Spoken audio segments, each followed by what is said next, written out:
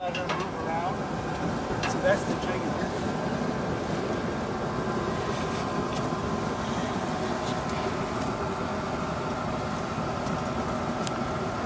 This catheter's full of saline.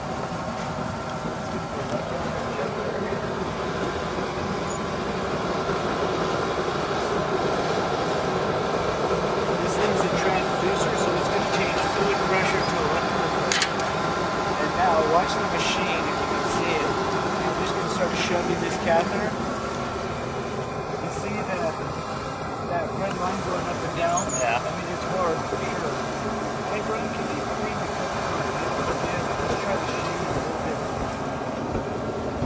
How's that? Can you see it? Yeah. So see how it's going up and down now? Yeah. That's telling me that that catheter is sitting right inside of the heart. I have to push it a little bit further down. See how it just changed wavelengths? Yeah. Down anymore? That's actually through the heart into the pulmonary artery. It's crazy. Crazy. So the score over here on the right side, which is the parentheses is my cap. So this girl had a 35, 57 over 3. And that's how far I'm in right there. Wow. All the way down the jugular, into the right ventricle, all the way through the ventricle to the pulmonary artery, and she scored a 35. Yeah. And her 75 over 3 is systolic over diastolic, just like I do would give you. Uh, but it's on the other side of the heart, so that was perfect. So, cool. number one done. We share the catheter off. She's Yeah. alive. I can only guarantee her until I pull this out. No, she's alive. Okay. Pretty painless. Yeah, it goes pretty good. As long as they behave.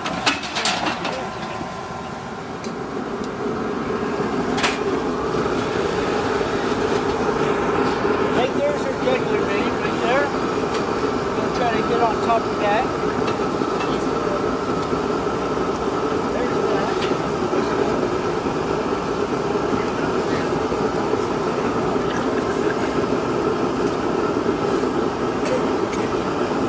Okay. So here's our catheter again. It's all flushed.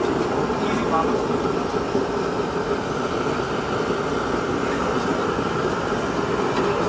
And you can see it a little bit better now if you want to come and try to take a peek and you can watch all the way through. Okay, so that's jugular vein. I'm going to keep pushing. Right ventricle, see it beating up and down? Can you see it going up and down? Can you show 'em, Morgan? Right here. Can you see it? Can you see the I can, yeah. Can you see that? Yeah. So the catheter is sitting in the ventricle right now, the heart. It's sitting right.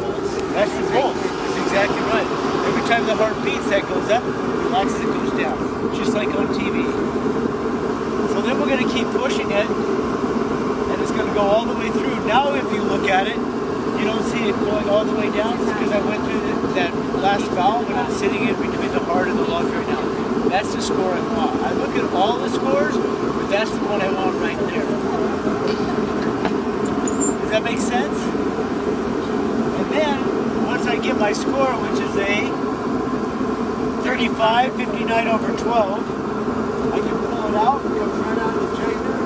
That's how far I was in. And a new needle as well. And I'll kind of go through the disinfectants with you same rate.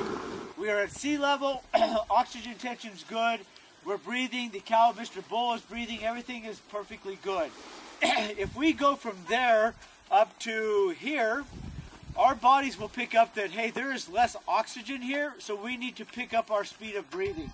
So our respiration rate will increase accordingly because remember there's less oxygen here, so as we increase breathing, we're going to get more oxygen per minute. Does that make sense? So that's the number one compensation that we do in altitude.